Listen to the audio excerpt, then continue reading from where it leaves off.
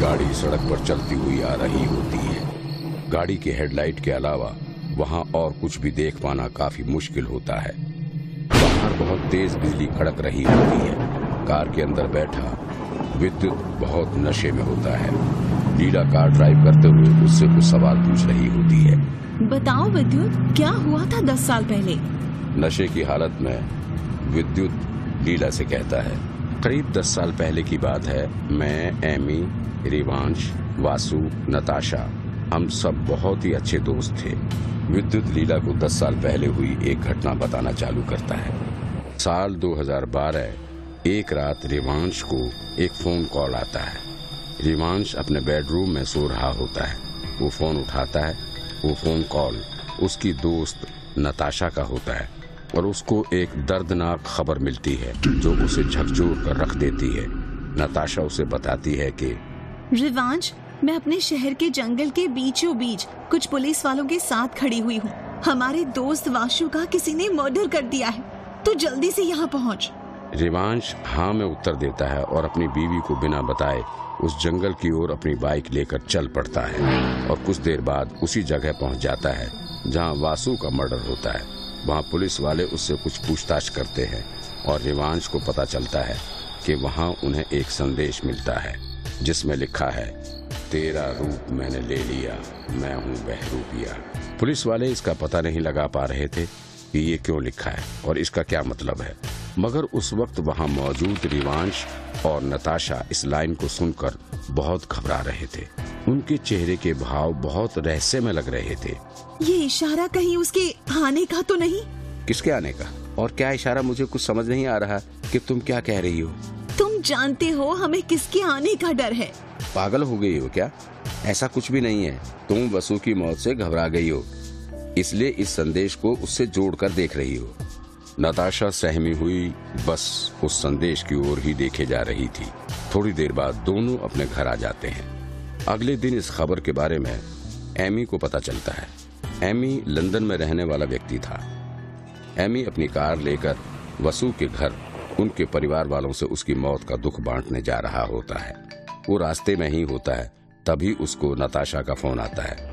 वो फ़ोन उठाता है। और दूसरी ओर से नताशा बोल पड़ती है।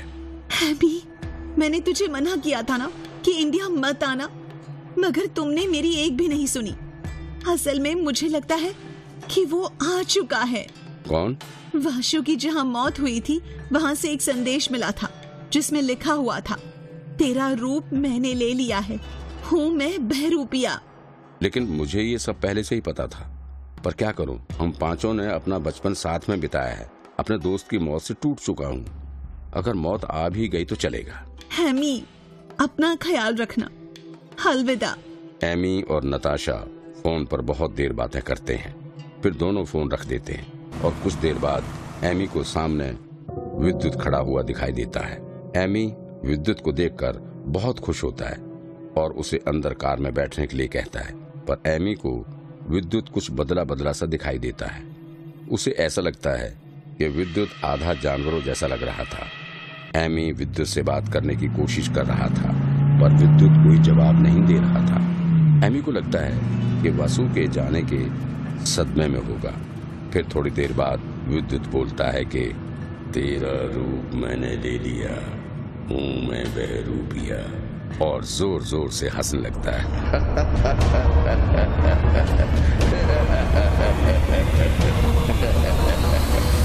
पीछे मुड़ता है तो देखता है कि वहाँ विद्युत नहीं, बल्कि एक डरावना राक्षस होता है। अब तक एमी समझ चुका था कि वो अब नहीं बचने वाला है। उसका सामना एक शैतान से है, जो किसी भी वक्त उसकी हत्या करने वाला है। अब मौत एमी का इंतज़ार कर रही थी, और अगले पल उस राक्षस ने एमी का पीछे से गला दबाना चालू कर दिया। एमी कार संभाल नहीं पाया और एक पेड़ से जा टकराया। अब उसकी आँखों के सामने काला अंधेरा छाने लगा था। थोड़ी देर बाद एमी को होश आता है। एमी अपने आप को कार ड्राइव करते हुए पाता है।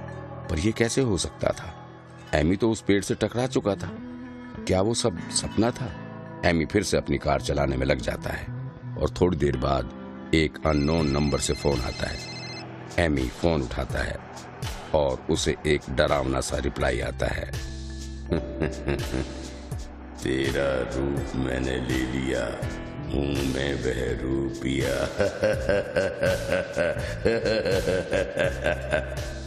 डरते हुए एमी शीशे में देखता है तो उसकी साँसें रुक सी जाती हैं। उसके शरीर का खून पानी सा हो जाता है। पीछे वही राक्षस था जो एमी की तरफ़ डरावनी तरह से देख रहा था।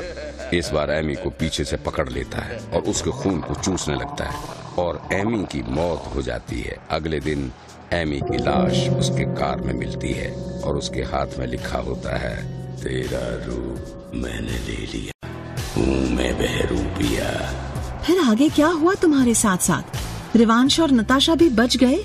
नहीं रिवांश और नताशा भी इस घटना से बच नहीं सके। फिर आगे?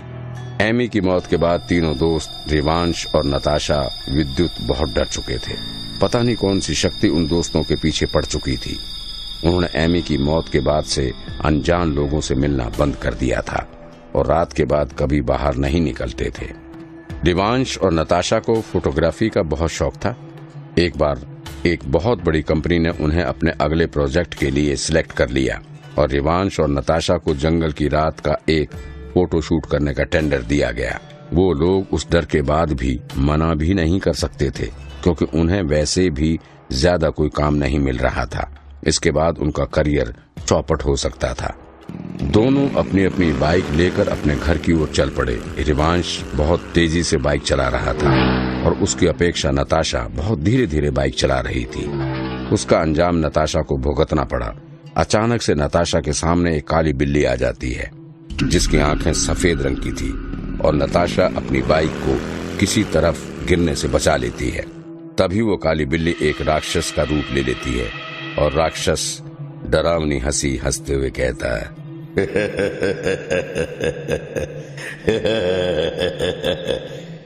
तेरा रूप मैंने ले लिया। हूँ मैं बहरूपिया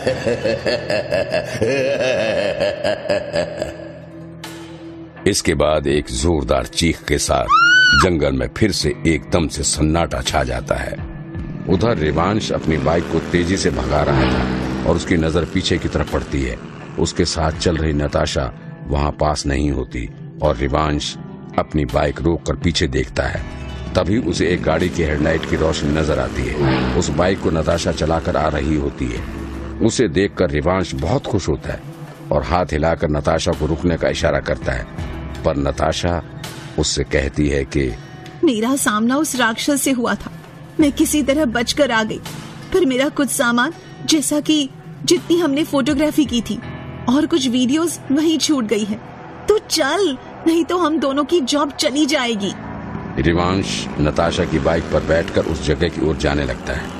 जंगल की ओर जाते हुए रास्ते में उन्हें वही राक्षस दिखता है, जिसे देख रिवांश कहता है, नताशा, जल्दी से बाइक की स्पीड बढ़ाओ। हमें इस राक्षस से दूर जाना होगा। जल्दी करो। नताशा बाइक की रफ्तार तेज कर लेती है और वो लोग वहाँ से दूर जाने लगते हैं। और कुछ दूर जाते ही वहाँ नताशा का बैग पड़ा होता है। वो देखो वो रहा मेरा बैग। दोनों बैग के पास पहुँचते हैं। रिवांश जब बैग को उठाता है तो उसे वहाँ एक लड़की ज़मीन पर लेटी हुई दिखाई देती है जिसका चेहरा नहीं दिख रहा होता है। नताशा जल्दी से यहाँ हो नताशा उसके पास आती है और कहती है ये लड़की कौन है रिवांश? इसे घुमाकर इसका चेहरा तो देखो। वो एक लड़की की लाश थी, जो कि और कोई नहीं, नताशा की होती है। रिवांश इससे पहले कुछ समझ पाता, पीछे से वो राक्षस जो नताशा का रूप लेकर आया था, उस पर हमला कर देता है। रिवांश उस राक्षस से बचने की कोशिश करता है।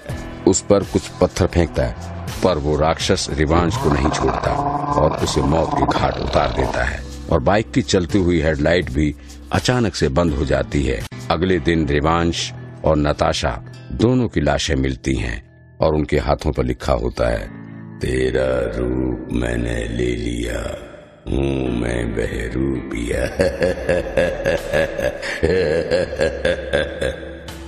वो राक्षस तुम लोगों को मार क्यों रहा था? और इसके पीछे रहस्य क्या था? बात तब की है जब हम पाँचों दोस्त एक ही कॉलेज में पढ़ते थे। हमें एक बाबा ने बताया था कि पास की नील पहाड़ियों के ऊपर एक बहरूपिया रहता है। वो राक्षस जो खून पीता है और किसी का भी रूप ले सकता है। तो हमने उसे मज़ाक में ले लिया। न, मैं नहीं मानता। कि ऐसा कुछ भी होता है। हाँ यार सच में। मुझे तो ये बाबा खुद ही पागल वागल सा लग रहा है। खून पीने वाला बहरूपिया। उसी रात हम सबने मिलकर उस पहाड़ी पर जाकर उस बहरूपियों को देखने का फैसला किया। रात में जब हम सब वहाँ गए तो हमें पहाड़ी पर वैसा कुछ भी नहीं दिखा, या महसूस हुआ, जैसा कि उस बाबा ने बताया था।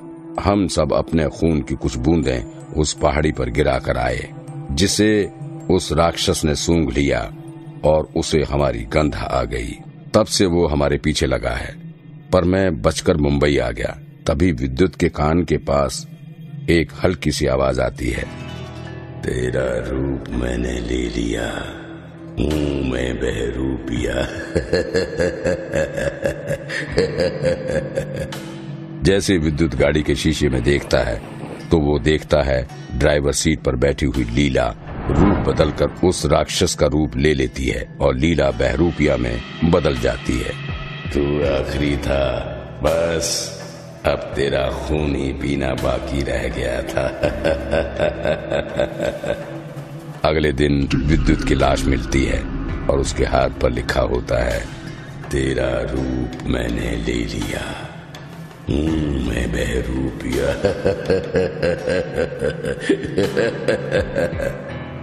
बहरूपिया वो खौफनाक दरिंदा। अगर किसी इंसान के खून की खुशबू इसे आ जाए तो ये उसका खून पीकर उसे मार देता है। ये गलती इन पाँचों दोस्तों ने की थी और इसका अंजाम इन लोगों को मिल भी गया।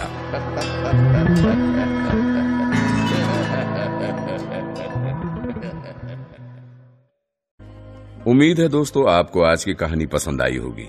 ऐसी और हॉरर स्टोरीज के लिए हमारे चैनल को सब्सक्राइब करें और बेल आइकॉन का बटन दबाना ना भूलें। और अगर आप अपनी कहानी हमारे साथ शेयर करना चाहते हैं तो हमें ईमेल ज़रूर करें। हमारी ईमेल आईडी नीचे डिस्क्रिप्शन बॉक्स में दी गई है। और हाँ वीडियो को लाइक और शेयर करना ना भूलें। Thank you.